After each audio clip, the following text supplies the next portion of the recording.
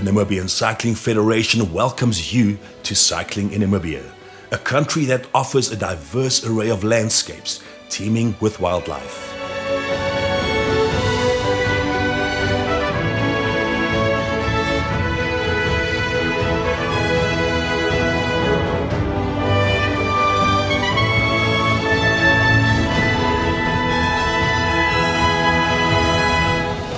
Join us on the ride as we reflect on the key cycling events held in Namibia in 2022.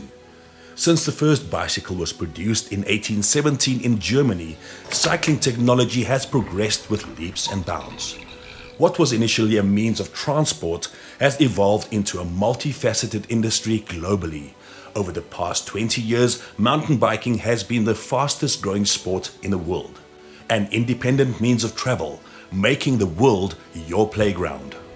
Namibia, with all its natural beauty and splendor, offers numerous cycling events annually for local, international, professional, and recreational participants of all ages.